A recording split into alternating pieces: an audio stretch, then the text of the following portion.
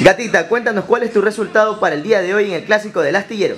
Bueno, hoy día miércoles cargo la camiseta del Emelec de mi equipo dorado, así que espero que hoy sea una victoria 1 a 0. Está dicho. ¡Uh!